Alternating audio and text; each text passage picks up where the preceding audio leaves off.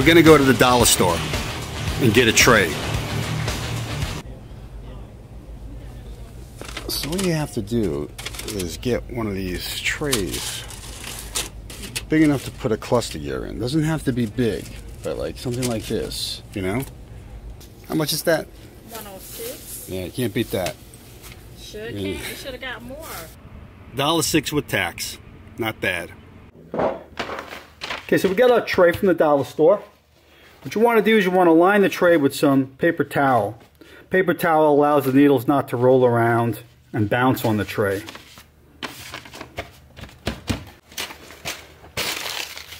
So I got the small parts kit has all the needles in it. This is a one inch counter shaft kit. So it's going to have the 1.20 inch diameter needles and it's going to have six of these spacers. Three, four, five, six. So if you're using the seam tube, like this one, basically the way it works is you get the tube, a spacer, a row of needles, a spacer, a row of needles, and a spacer. Same thing on the other side, spacer, row of needles, spacer, row of needles, and a spacer. That's how all these go together when you have a seam tube. Sometimes if you have a seamless tube, we eliminate this spacer here and the needles go right against the tube. You just don't want the needles to be overhanging the counter gear. So you may ask, why am I doing this little video on needle bearings? That's because there's a lot of folklore, I call it, on the internet about how needle bearings should be loaded. Some people talk about putting dummy shafts in the transmission and loading them in that way. But the tried and true method is loading them with grease or assembly lube. I use this assembly lube here. It's a company called Dynatex. It's called Transmission Assembly Lube. This is the blue version of it. It's not as tacky as the red version. What's good about this stuff, it breaks down with oil. You never want to use white lithium grease. That stuff doesn't break down with gear lube. You can use also use a heavy duty wheel bearing grease, something like this, okay? Uh, this works good as well, but I find that I'm in Florida and when it starts getting a little bit warm in the shop, this stuff breaks down and gets too loose and the needles start falling out. This stuff kind of holds its tack no matter what the temperature is. See, blue stuff. Okay, so one of the reasons why you want to use this method is because you're able to inspect the needles when they're inside the gear and you can also test fit the counter shaft to make sure it spins okay because believe it or not sometimes counter shafts bend and you won't know that if you just kind of slide one shaft in replacing the other with the dummy shaft method. So take some of this lubricant, just put it on this tube like this, okay, and slide it in the gear. Okay, it's going to be loose. I'm going to put a lot of this, a lot of this in here on both sides. This keeps the tube from sliding around. All right. I'll show you later on in the new cluster gears we actually don't use the tubes anymore. That's a pretty hot day today in Florida. You can also put your finger inside over here if you want to hold the tube from coming out. So you simply start by putting your spacer in. I feel it's a little loose. I'm going to pile some more grease on there to hold it in there.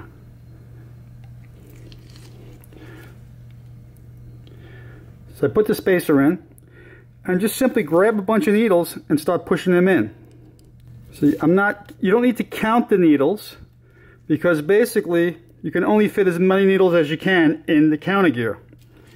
And that's it. So even though I believe this is a, four rows of 28 needles, you don't really have to do that. Now with, without gloves, it's a lot easier. And you want to know what? It's a real pain with gloves for me. But for safety reasons, I guess we should leave the gloves on, right? So what I'm doing is I'm just grabbing a bunch and laying them in. That's all I'm doing. And once in a while, I'll push the tube up a little bit.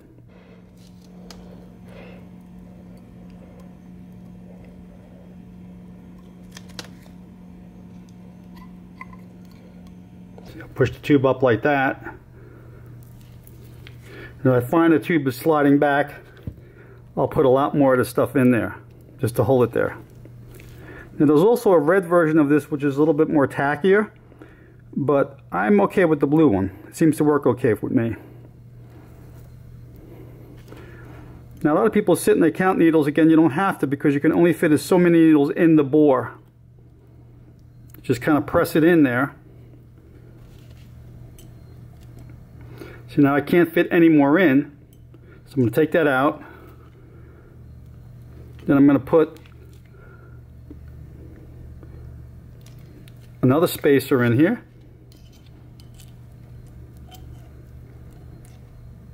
Push them down, start another row.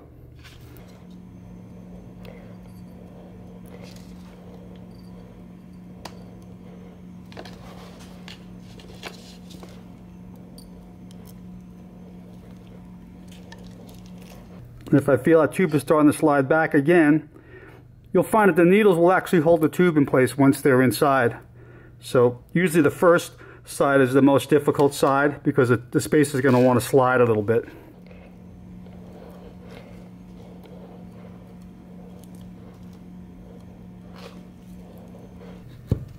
A little bit more in here.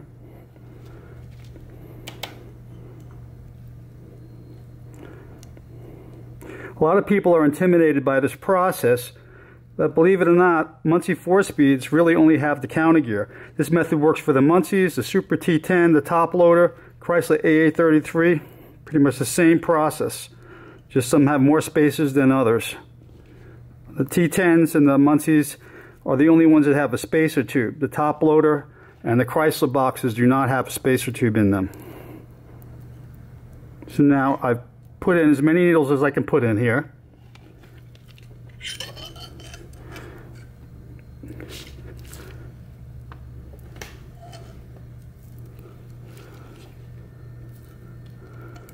That tube wants to slide out. So I'm going to put a spacer on the end here.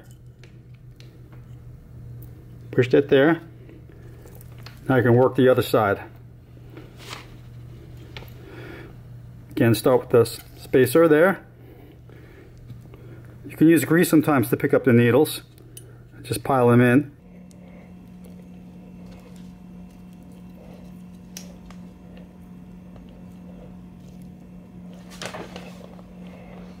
Now it's a relatively hot day today and the stuff seems to be hanging in there but if you feel that it's too loose and that it isn't working for you whether you're using wheel bearing grease or assembly lube then simply put it in the fridge, put it in the freezer for a bit.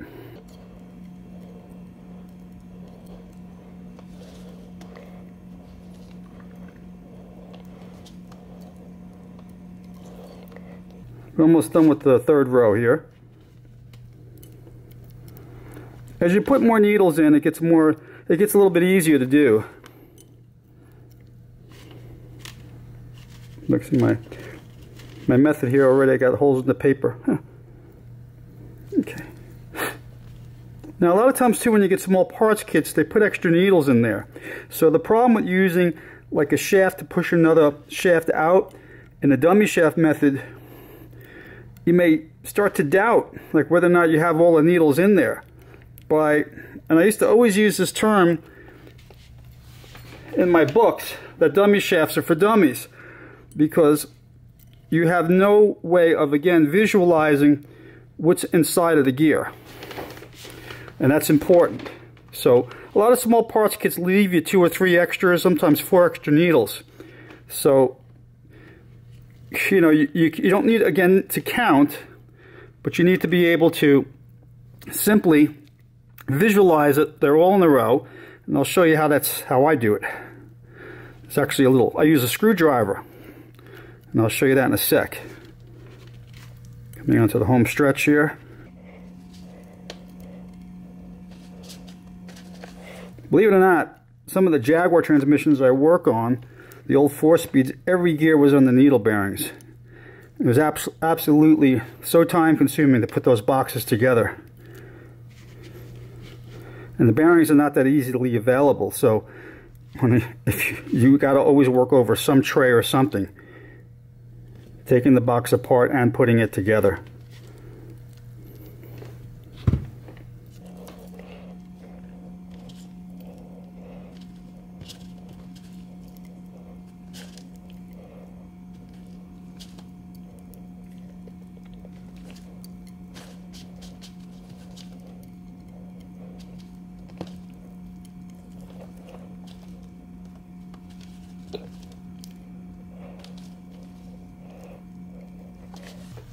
You see how it, they're all in there now, right? I put the last spacer ring on there. Now what I'm going to do is I'm going to lay this cluster down. If you notice I've got three needles left over here. So you lay your counter shaft down and you could use a thrust washer. Place it in front like this. That's going to hold things from trying to come out. Get it started in. Slide it all the way through. Wipe off any excess grease on this end, over here. Now once the shaft is in the gear like this, I could spin it. I could feel if it's binding. I could. You'd be surprised. Sometimes the shaft could have a little ding or a little dent in it, and it'll make a rattle on the on the needles.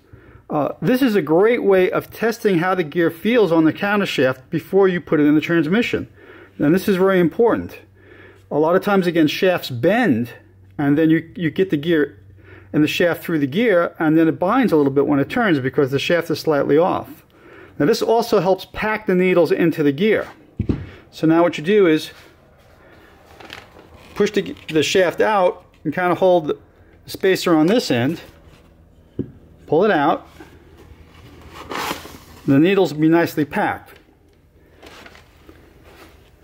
Now what happens, you can have a visual. So now that your shaft is out, you can see how nicely packed the needles are inside the gear.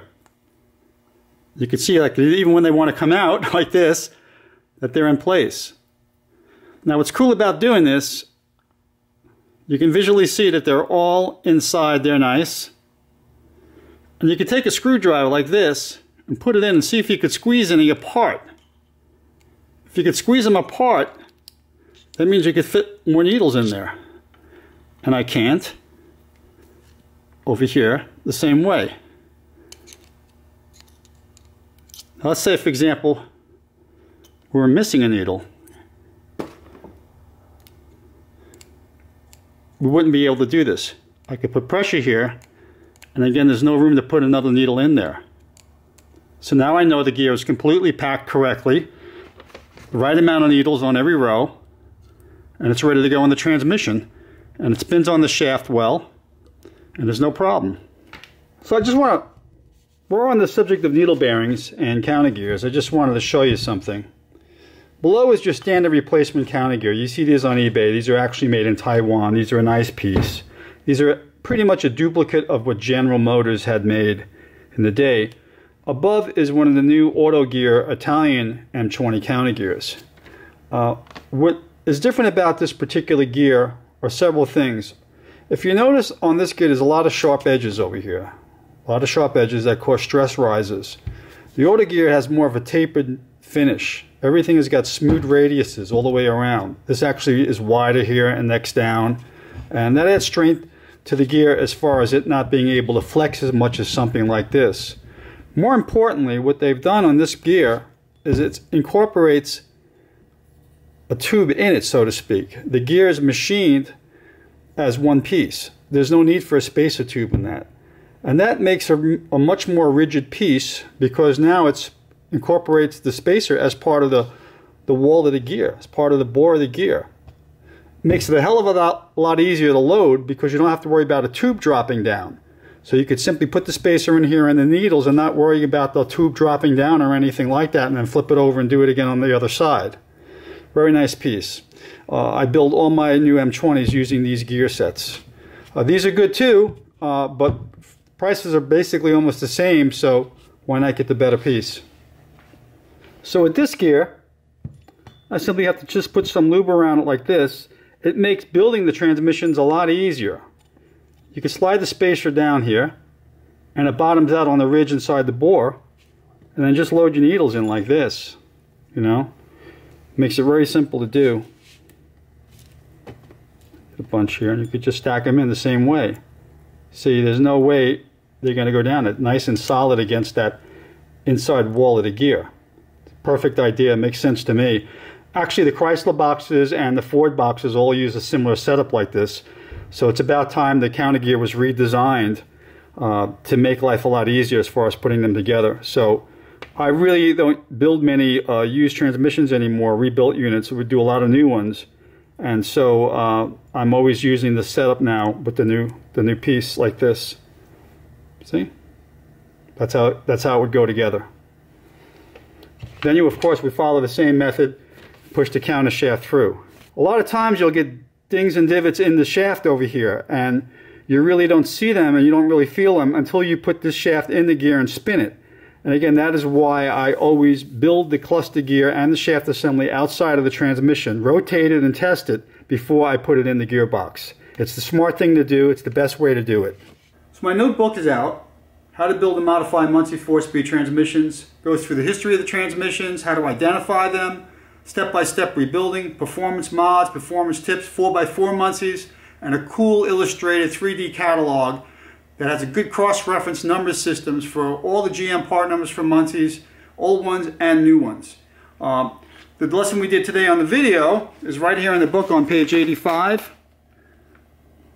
Shows you how they pack the needles, what we did, um, spacing that we just did over here. Beautiful color pictures. Yeah, shows you that little thing with the spacing, okay? Uh, tubes, the differences in the tubes between the solid tube that I was talking about and the seam tube. All that's in the book. It's a great book. Again, you get $5 off. Mention the coupon code again. Thanks for watching.